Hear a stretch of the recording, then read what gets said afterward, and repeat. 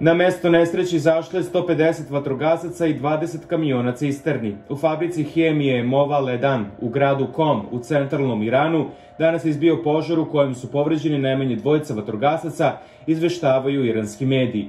Na video snimcima sa lica mesta vidi se gust oblak crnog dima koji se diže iz fabrike. Na mesto nesreće izašlo je 150 vatrogasaca i 20 kamiona cisterni. Uzrok požara još nije poznat.